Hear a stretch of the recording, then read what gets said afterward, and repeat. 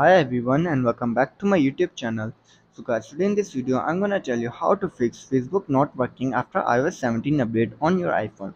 Some users are facing some issues after updating to iOS 17. The users the users have reported that they face Facebook not working, crashing and not loading issue. If you're also facing this and searching for fixes then don't worry this video is for you. In this video I will tell you how to fix this issue. First of all you have to force stop the application. So guys sometimes solve to solve simple software issues, force closing the app can help very much. Whenever Facebook crashes or does not work, then you can force stop it. Simply scroll from here and close the app forcefully and then reopen it and check if it works or not. If it still doesn't work and you're still facing the same issue, then you have to check your internet connection. Many problems are caused due to pure internet connection. So check whether you have a good internet connection or not. You can try the airplane mode trick. Simply open your airplane mode and wait for some seconds and then reopen then close it.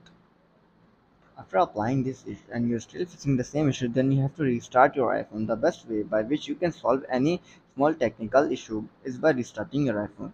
So the next so the next way you can you can solve your Facebook not working or crashing issue is by restarting your device. Simply go to your settings, then go to general, scroll down and tap on shutdown, shut down your iPhone and then restart it after 15 to 20 seconds later.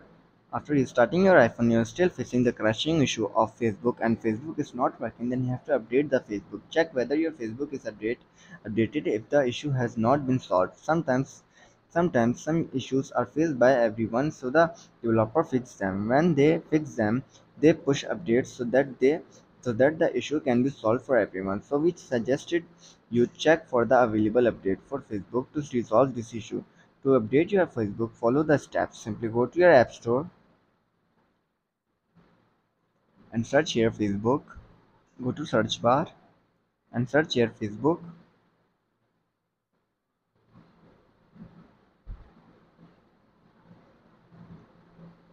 And see if update is available or not. So guys if an update is available then update option is available on the app page. Click on it.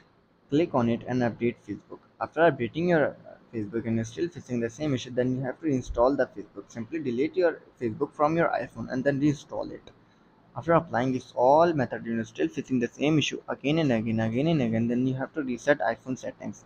Even by following all the steps mentioned above, if Facebook is not working or is still crashing, we suggested you reset all settings of your iPhone. Simply go to your settings, then tap on your general Scroll down and tap on transfer reset iPhone, tap on reset, tap on reset all settings, enter your passcode and fix your issue. So guys, if this video helps you then make sure to like and subscribe my YouTube channel for upcoming videos and thanks for watching.